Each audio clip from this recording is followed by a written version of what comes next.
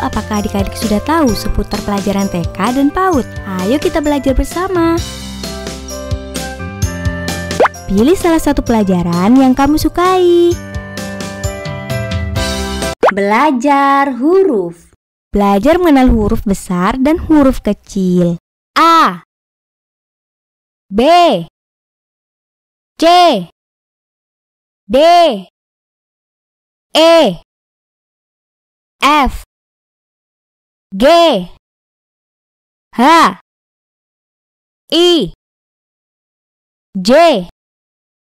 K. L. M. N. O. P.